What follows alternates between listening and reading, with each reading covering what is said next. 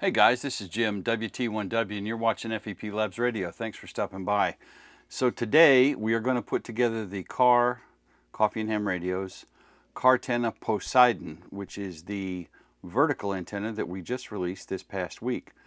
Now this is based on a Rybakov design, uh, which is the Russian word that means fisherman apparently. And so because we name all our antennas like Greek gods, we're going to go with Poseidon on this because he was the Greek god of the sea. This is the kit that you will receive if you order a Poseidon from us.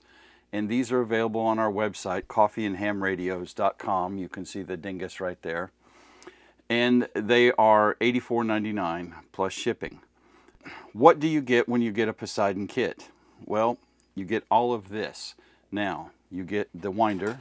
This is the Cartenna winder. This is our design. Uh, this is not 3D printed. This is PA12 nylon. This is not 3D printed. This is created with um, what's called multi-jet fusion. And these things are tough. They are weather resistant. They are sun resistant, UV resistant, and won't slag down like 3D printed PLA winders would if they're exposed to sunlight for an extended time. So you get that. You'll get a couple pieces of wire, magnet wire. Mine have been somewhat straightened out. You will get two little coils of magnet wire. We're going to have to use those to wrap the toroid. You'll get this piece. This is a pre-production prototype that was 3D printed by Chuck for me for this kit. This is a kind of a dress rehearsal pre-production kit. You'll get everything in here just like you see it with the exception of this. You'll get this piece in PA12 nylon multi-jet fusion as well. So what this piece is for is this can go on top of many masts and it will slide down and then you can hook the end of your antenna on it and raise your mast up and it'll hold your wire. And then when you're done, drop the mast, pop that off the top of the antenna and put everything away. Pretty cool, huh? You may or may not want to use this piece. You may not need to use this piece. We've included it for convenience. Of course, you're going to get a Coffee and Ham Radio sticker. You're going to get a 100 foot spool of BN Go 22 gauge wire. I have orange in this particular box. Colors may vary, it just depends on what we buy. We buy it in bulk. So we don't we don't sell these with specific wire colors. You you will get a piece of shrink wrap to put around the winder and the toroid when you're done. You're going to get some shrink wrap tubing to go over the connections. When you're almost finished, you're going to get zip ties we include six zip ties so you can get everything latched down and in place and tightened up. We're going to include a Velcro strap. This can be used, this actually has two purposes that you can use this for. Of course, when the antenna is not deployed, you can wrap this around your radio wires and your radiator wire and get them all coiled up and it'll keep everything nice and neat on the winder and you can throw it in a go bag or go box, whatever. It'll keep the wire from getting unruly. Of course, we're going to include the BNC bulkhead connector to make the antenna do the business. One screw and bolt to fasten wires down to your frame. Two ring terminals. This is for your radio connection. Of course, you're going to get a toroid. These are FT 14043 toroids.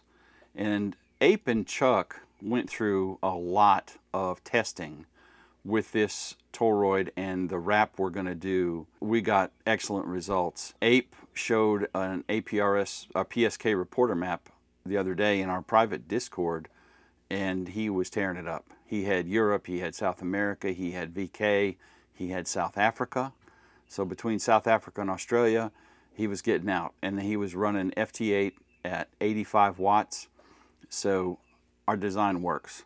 And and guys, you don't you don't see all the behind the scenes. Those two guys, KK6USY Chuck and Ape, no call sign known, go through a lot of testing when they build these. In the kit, this is everything you will get. On the website, coffeeandhamradios.com, we have a link to our GitHub page, which has a copy of the Poseidon build instructions. And this was done by Ape and Chuck and vetted by me and Steve as well and we think we have everything pretty good for building an antenna. So without further ado, let's take a quick run through the instructions and see what we've got. So this explains what the Cartena is. This is the information that's on the website. Our recommended configuration for this is 25 foot vertical element and four 17 foot radials. With 100 feet of wire, you have enough wire to do that with a little bit left over. So that is the description. And then we get into the meat of the business. We include our parts list, which I've already gone over for us. And then we start doing our instructions. So we are going to follow the instructions exactly like they are and get this sucker built. Okay, so the first step we're going to do is put the BNC connector on the frame. And Chuck has some very specific instructions in here about how we want to mount this on our frame. So when you get ready to do this, something to be aware of with these adapters. They don't go through like this. You don't push this through. You push the threaded piece through because that's what we want to grab onto with our washer and our grounding tab. So we're going to put that on there. And then we're going to put on our grounding tab and we want it going to what is the left side if you're looking at it like this.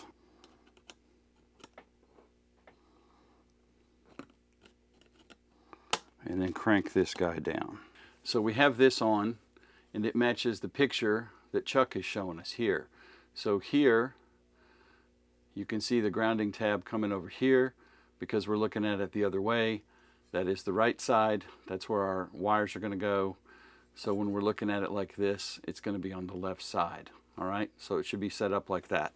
Attach the screw and the two wire terminals to the left of the BNC attachment point. So as you can see, they're right there when we're oriented like so. Now Chuck is talking about putting on our screw and the two wire terminals up here. So we're going to go ahead and do that. And they go in this hole right here.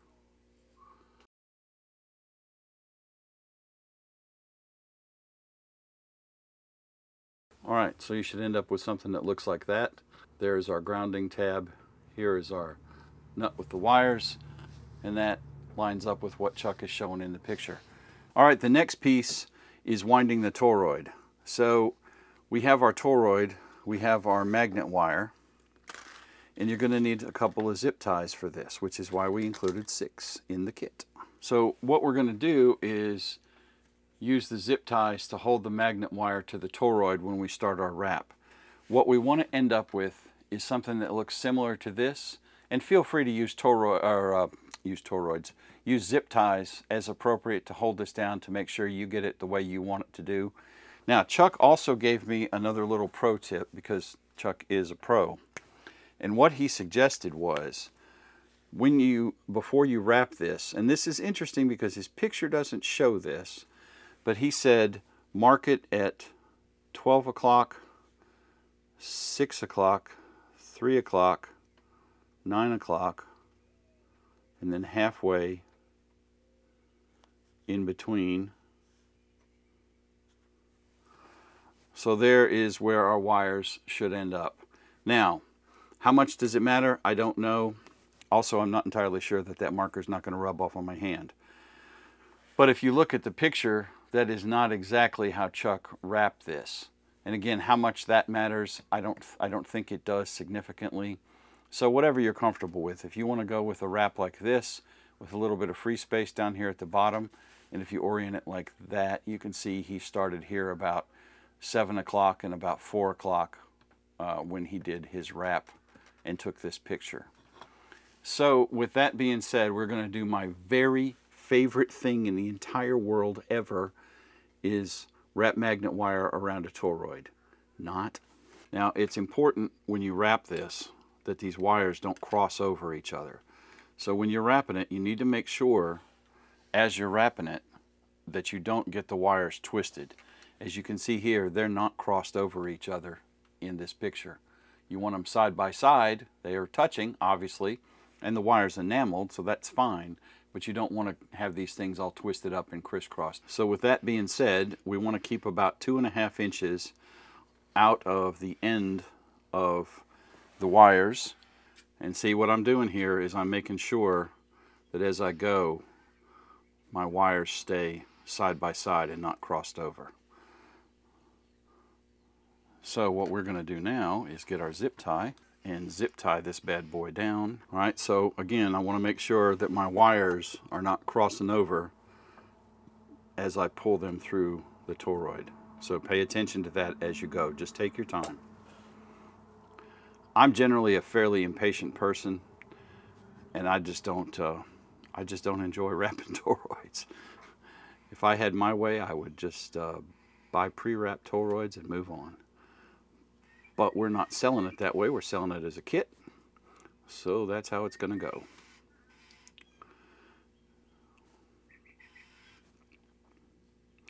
And see with that with that zip tie holding those now, I can get the rest of this fairly tight. And I, I got to say that Chuck and Ape are masters, absolute masters, living legends at wrapping toroids because I'm going to wrap this and it's not going to look anything nearly as good as the picture or anything that Chuck or Ape have done.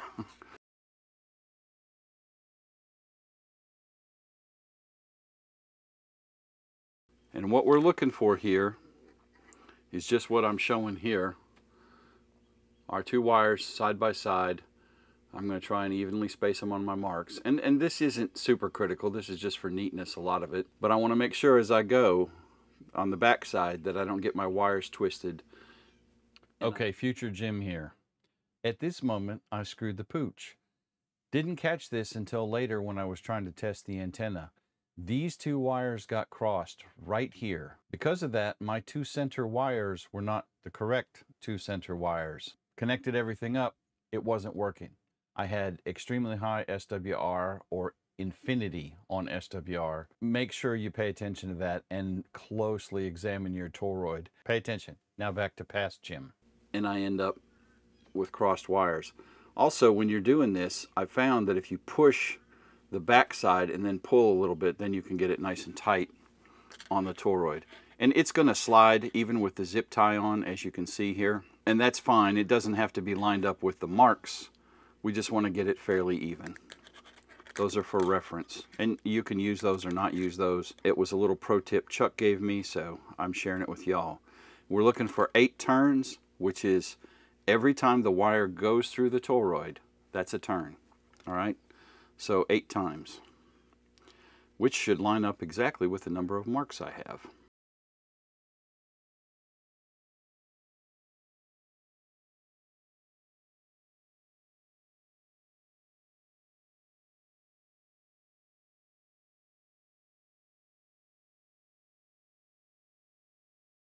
Okay, we've got our wrap finished.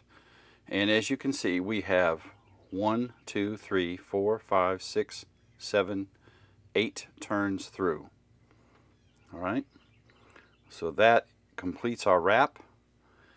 And then we're going to probably put another zip tie on this to make sure that everything is going to stay in place. Okay, so we've got our toroid wrapped. The next thing we got to do is we need to scrape ends off of scrape the enamel off of wires. And we want to take these two center wires and connect them together per the picture here. All right, if I didn't get my wires crossed, we should have continuity between the outer two wires. That's my inner two wires, my outer two wires, and they do not cross over. So that is an easy verification to make sure that you didn't get your pair of wires twisted when you were wrapping the toroid because it's critical to the design that we do the right wires for this little process. So now what we've got to do is let's pull those aside, our outer wires for the time being, get them out of the way. And these two wires need to be fastened together. So I need to scrape off a whole lot and we want to do this as close to the toroid. So twist and solder the two center wires, keeping the connection as close to the toroid as possible leave one wire long enough to insert into the center connector of the BNC. You should have continuity between the two outer wires at this point. And we've proven that we do, and we also have continuity between the two inner wires. So these two wires need to get soldered together. The instructions are a little unclear here, but following the picture, you can see that the center wires go together. All right. And when he talks about making one wire long enough, that's one of these outer wires that are going to be our ground and our, our, our radials and our radiator. Okay, so we're going to fasten our red wires, our red wires, our center wires together. And I didn't follow, I didn't understand the instructions completely here. And you can't see it in this picture because this is a black and white printer. But if you look real close at that picture, you can see here at the top, there is a wire that's long. And that is our center conductor for our antenna. So the short wire, we're gonna, we're gonna shave this off, shave off the enamel here in the center and then on the end of this shorter wire and wrap it around that and then that gets soldered. We do need to leave one of these long, this guy, because that's going to be our center conductor for our antenna. This is our antenna connector up here. Pretend that's red. This is our center tap, the blue arrow, and then this is our ground conductor, ground connector, the orange arrow. All right. So that is how this is going to go, and that clearly shows these don't get connected and cut off. You got to leave this one long because that's going to go to the center tap of our BNC connector. So now that we've got the enamel sanded off, what we want to do is we want to fasten these two together couple of times. And then we'll end up with this kind of situation here. And we can clip that off. We're going to solder that guy. All right. So now this is our picture right here. So that's all done. Our toroid is wound. I'm going to set this picture aside for reference as we mount it. So now we want to put the toroid on the frame. And what we want to do is, first of all, I'm going to orient this like our picture. And we're going to mount the toroid here. And you can see what we want is this guy is going to go into here and get soldered. This one is going to go over here like so. This will be our antenna wire and then this one will be our, our ground wire slash radial connector. So we want to use some more of our zip ties and attach it to the frame. All right, since we got the toroid wrapped, now what we want to do is this guy needs to get soldered into the BNC connector there and then this one needs to go over here to connect up to one of these ground lugs. So what I'm going to do is figure out what length and I'm going to do this before I fasten down this toroid so I have a fair idea of how long I need to cut these wires. So this one doesn't need to be nearly that long. I'm going to cut a little bit off of it and then sand yet more enamel off of it and fasten it to that connector and crimp it on real good. And once I have these ready, then I'm going to solder some stuff. So let's, uh, let's do the cutting. I'm going to hold this about where I want it. And then we are going to cut. Let's try and center that up a little bit. We're going to cut this thing. Trim that back just a little. And we're going to cut this right about there. We don't need it super long, we just need it long enough to go in there. And I'm going to actually cut a little longer than I want. So that guy, and then this one, we're going to cut him back to about here.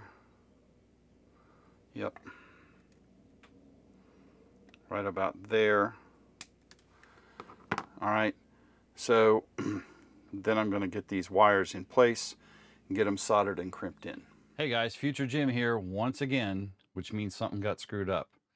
Looking over here at the picture where I've got it circled, I completely missed putting the ground wire through the tab, which means there was no ground on this. So that was mistake number two. It says to do this in the instructions. I missed that part.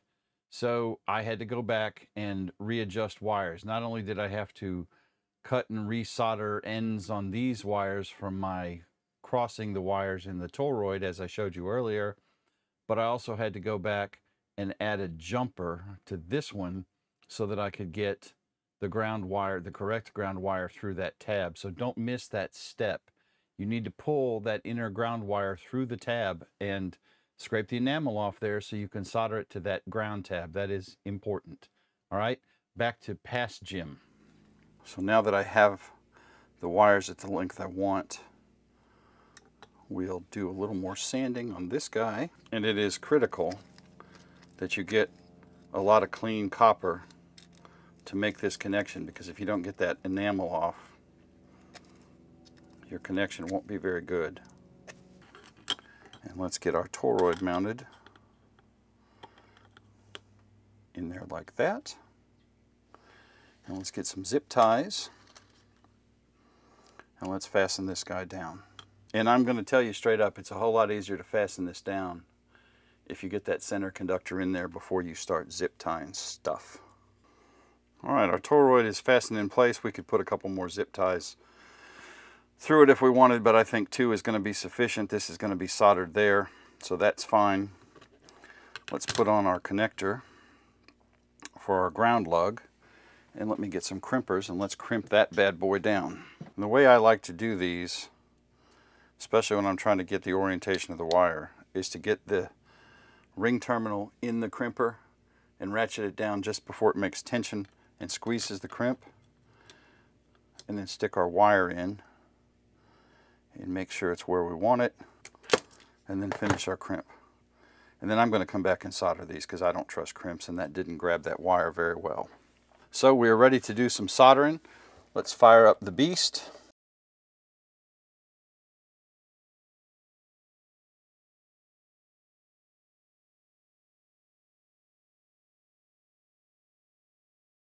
Okay, she's all soldered in place. So this wire is going to go over here and become our ground slash radial connector. And this is going to be our actual antenna wire. So let's take a look at the next steps and then keep pressing on. We're close. We've got our toroid mounted, all good. We've done all that. We've crimped, we've soldered, yada, yada, yada. Okay, so what we need to do is measure out 24, 25 feet and 4 inches of our antenna wire. This is the orange BN Tech Go wire. And then we want to fold over that 4 inches and secure it. And I've just used zip ties here. You can put heat shrink on this if you want as well. So this is our main antenna element. So at the end of the frame, and I don't know how well this is going to show up on camera, there is a hole right here that you can barely see and the wire goes in there and then comes out like so. And then we're going to take it over the top here. Pull that through there like that. Like so. So through the end up through that hole down through that hole on the back side and then back up right here like so.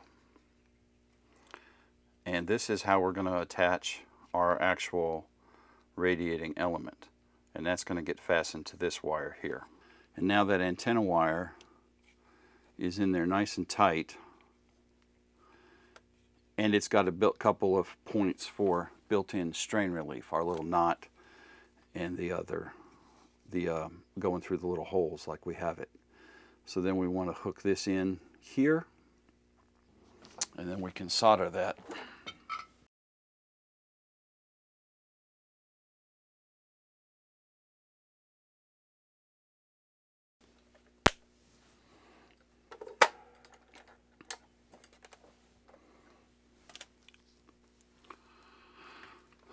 Okay, so our element is now soldered on there like so. We have our little strain relief knot in there and we've got all our slack pulled out of the end.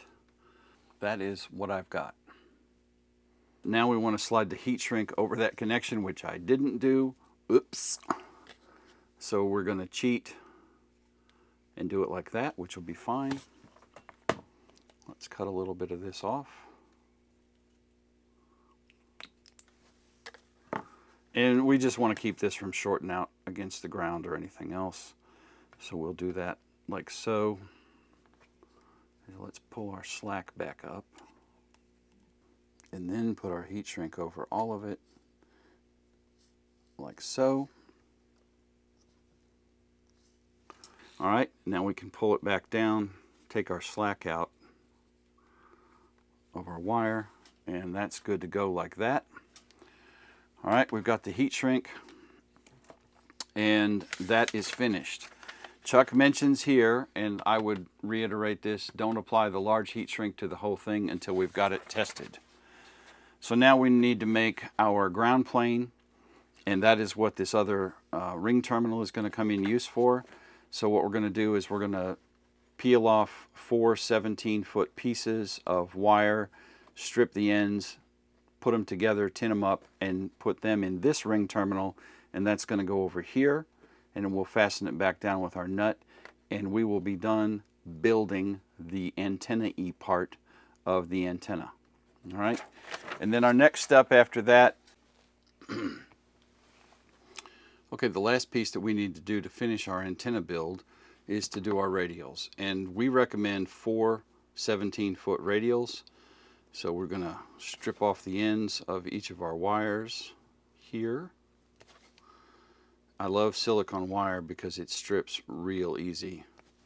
Is we're going to want to twist all of these bad boys together into one bundle and then we're going to solder it up. Our solder's all nice and flowed into there and let's crimp our connector on. So like before what I'm going to do is put it in the tool. And in this case orientation's not going to matter a whole lot one way or the other. And put it in there.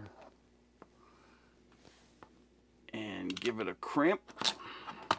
And actually, because I love solder, we're going to go ahead and solder that bad boy to the connector too.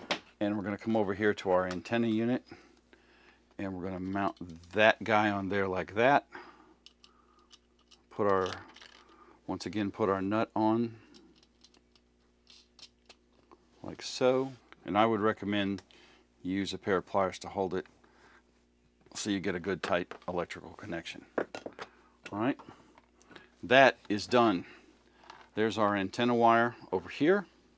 Okay guys, so I've got the antenna done and I did a little bit of testing and I did it two ways just to see the difference. And I, I originally tested this in my shop with the antenna laying on the bench, no radials attached to it, but the antenna wire deployed across the floor of my shop around the corner to the other side of the building. And that was how I set it up. I did my initial testing with the RigExpert right there and the SWR values were pretty dang good. Excellent SWR. This antenna is designed to be used with a tuner, so I still had SWR values that were acceptable. This picture right here is with the antenna deployed as built. So my build right now is on a carbon, not a carbon fiber, a um, fiberglass mast raised up. The base of the antenna, the feed point is about six, eight inches off the ground. It's being fed with RG8X coax, and I have four radials deployed. And this is the SWR across the bands. So going from right to left on this, this is the six meter band here, and this is the three 0.0 SWR line right here. So you can see six meters is below three. Then moving down, this should be 10 meters here. And as you can see, it is about 2.1, 2.2 or lower where the line crosses the 10 meter band. And then uh, you can't see on this picture because it's so small, but here is 15 or 12 meters right here and again, we're, we're below two SWR on 12 meters. And then we have 15 meters here and we're about three, right at three across the entire 15 meter band. And then down here on 17, we're also right at three across the entire 17 meter band. 20 meters, we're just slightly above three across most of 20 meters. And then we go to 30 here, excuse me, 40. And there's 40 right there. And 40 is looking pretty good. In the middle of this is 30, and you can't, I think this purple line is probably 30, and we're about 3.2 to 3.4 on the 30 meter band. There's 40. 40, we're below three. And then here is 60 meters, which this is not designed for 60 meters, but well tunable. Now, at uh, 80 meters, things get kind of stupid. So here's the thing. If you have a tuner that goes beyond three to one, you can probably tune in 60 and, and 80. It's not going to be the best, most efficient use of this antenna. It's not really what it's designed for, but it will tune. I have tuned it with a uh, with my flex tuner and I've done contacts on 60 meters. This is designed to be used with a tuner. There's a few bands that really don't require a tuner. And in most cases, you can see here that you can tune this with the onboard tuner of any radio that has one built in because almost all those onboard jobs are three to one. So you should be able to get this tuned into submission easily enough. And the deployment on this is very easy. So that is what the SWR on this looks like. The other thing that I did a quick picture of, this was my first uh, go around with FT8. I ran FT8 on my flex at about 60 watts, maybe 50 watts for a couple, three hours when I got the antenna stuck up. And again, my antenna is not tied off. It's not standing in the open. It's leaned up in a magnolia tree. So as you can see, this antenna is working great. I was heard or talked in VK from Alaska down to VK, I'm right here somewhere buried under the pink blob. Uh, Europe was lit up like a Christmas tree, as of course was the United States. We got South Africa, we got Namibia possibly, uh, Mozambique or Madagascar, I can't tell where that's at, uh, all the way down into South America. So the antenna works really well. Okay, that's going to about wrap the build portion of this video up. Guys, I think this is a great antenna. It is very easy to build, and I'm not the world's greatest antenna builder. That is Ape and, and Chuck. Antenna building is not really my jam. However, I didn't think this was a very complicated build, and it didn't take that long to build, maybe an hour, a couple hours. Go slow, take your time, double check your work, because as you saw in the video, if you've stayed this far, you know that I had a couple little gotchas that uh, I had some problems with. Other than that, not a big deal. Super easy to deploy. You could throw this uh, up over a tree limb.